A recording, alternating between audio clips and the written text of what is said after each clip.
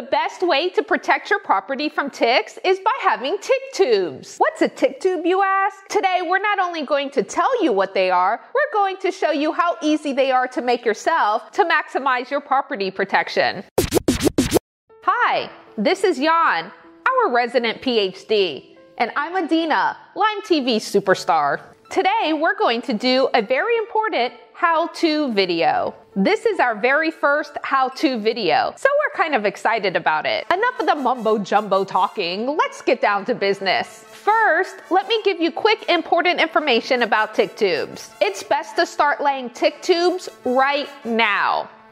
When you see this, Early spring is really the ideal time to start laying down tick tubes, but you can start at any season and then shift to a more regular schedule explained later in the segment. Tick tubes can take a season or two to become effective, but they do work, and studies have shown that they are nearly 100% effective in eliminating infected ticks from your property. That's pretty effective. Tick tubes are safe for people and animals. Permethrin, once it's dry, can be touched to your skin. I'm wearing permethrin in my clothes right now even inside, because ticks are mother and they can get in your house.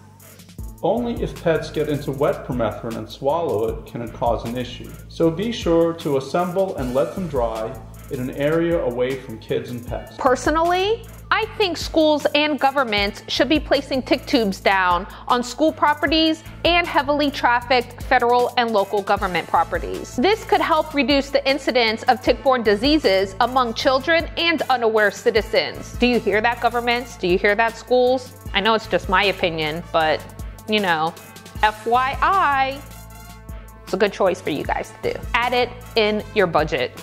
It's very cheap. Why would governments lay down tick tubes when they engineered the Lyme disease in the first place? Tinfoil hat for this guy. Why don't you start by telling them what are tick tubes? Okay.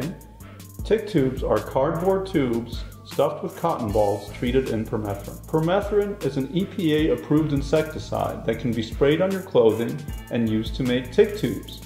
That's all there is to it. That's all there is to it, so we can go home now. Simple product, right?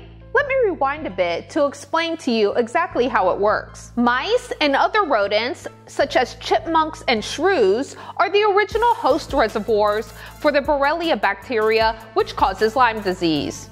Aren't they so cute? They're so cute though. The little chipmunks, they're so cute. Little mice and shrews. Cute but deadly. Cute, but they're just riddled with bacteria. One little tiny itsy bitsy mouse can carry up to 100 nymph ticks on it. That's 100 possibly infected ticks on your property that can get on you, your kids, and your pets. Think about that infection risk. The mice on your property gather the cotton from the tubes to build their nest. The permethrin on the cotton then kills all the ticks on the mice without harming the mice therefore breaking the transmission cycle of infection. It affects the ticks only on nesting rodents that use the cotton for their nests. It does not affect the ticks on other mammals that carry ticks. We will first go over the supplies that you'll need and then we'll demonstrate how to make them. Obviously, knowing how many tick tubes you will need based on the size of your property is the first step to getting ready. Obvi. It's important to know the quantity of supplies you will need before you begin making the tubes. The little bit of math needed in this segment is simple. We're going to walk you through step by step with our mad math skills. Mad math skills, yo. Our math skills are ridiculo.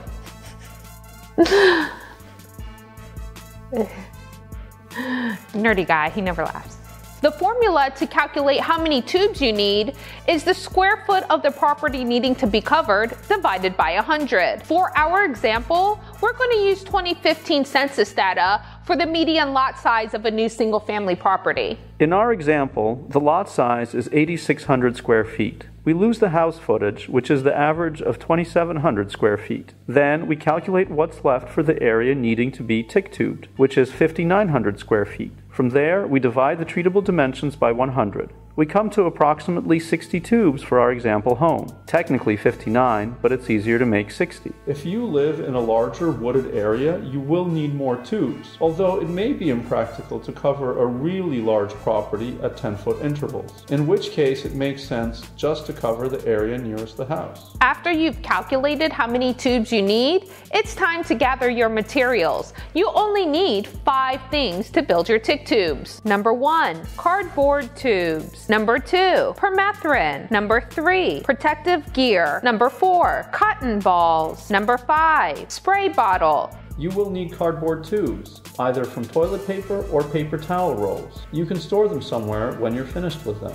You will also need permethrin, which can be purchased on Amazon and probably also at your local hardware store. Make sure to purchase your permethrin at a concentration higher than 7.5% for making tick tubes. For spraying your clothing, you can buy permethrin at 0.5% concentration without having to dilute it. Having gloves and masks is important. Having goggles is an extra precaution if you do not want to get permethrin sprayed in your eyes. Do not spray permethrin without a mask or gloves. It is safe when dry on your skin, but you do not want to touch it while it is wet. Next, you'll need cotton. Lots and lots of cotton. Or you can also save up dryer lint and use that if you want to repurpose another household byproduct. It's still just as effective. And last, you'll need a spray bottle that you will only use for permethrin. It's a good idea to label the bottle. Now that we have all of our materials ready, let's get down to business of easy assembling. We're going to walk you through the five easy steps for assembling your very own personal tick tubes. Let's get to the fun part of our segment. Let's get down to some tick tube business. Hey, oh, from the windows to the wall. We're gonna lay some tick tubes in the fall. I'm a rhyme master. yes, I am. Rhyme master here. Rhyme master. Verify the legality of using permethrin in this manner in your locality.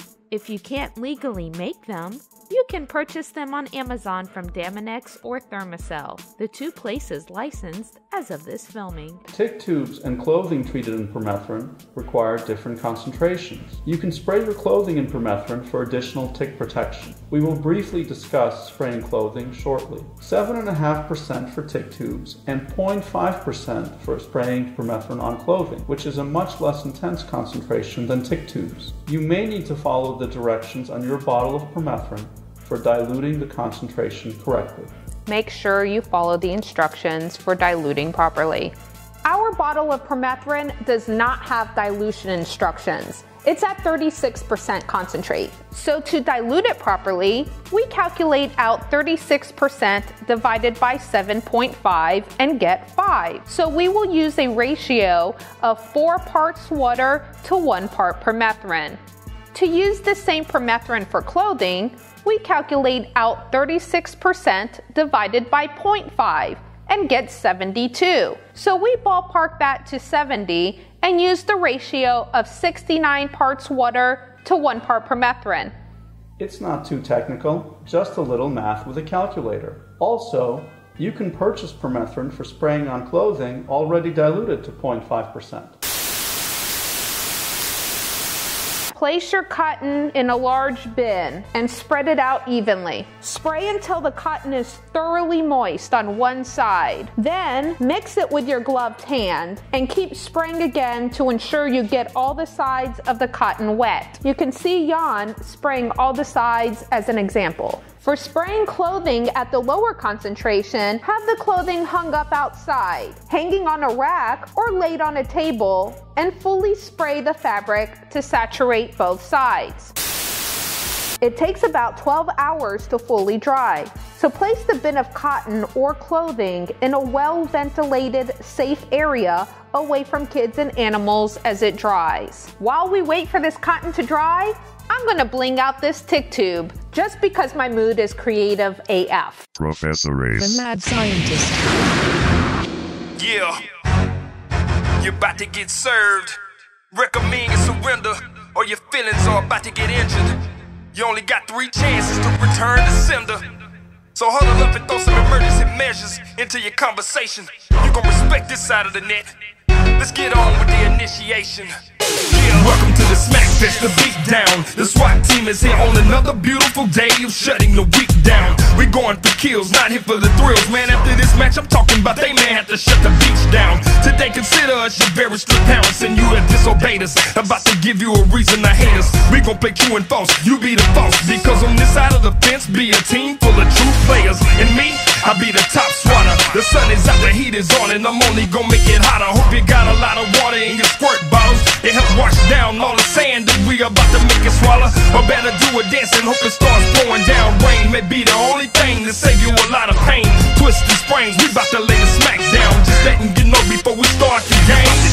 Your team's already intimidated, about to be eliminated, slapped to the curb. Yeah, you about to get served. An ass strike, delivering spikes and deadly force behind the jump serve.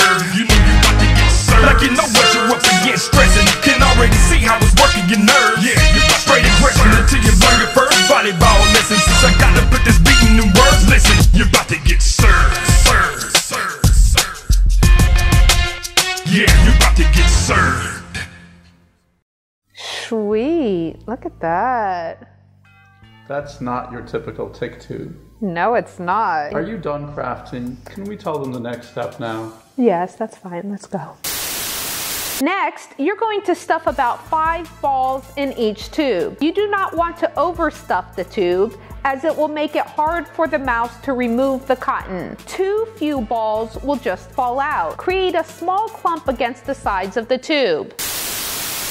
Last, place the tubes about 10 feet apart all over your property. Place them where mice would go, a little hidden under bushes, fences, logs, next to large rocks, and other types of areas shielded from the elements. In order to always maintain the same level of tick protection, make sure you place the tubes twice per year on your property, usually in the early spring and late summer, and spray your outdoor clothing about every 6 to 8 weeks or about after 10 washes to keep effectively repelling ticks. So there you go. You've just graduated to becoming a tick Jedi.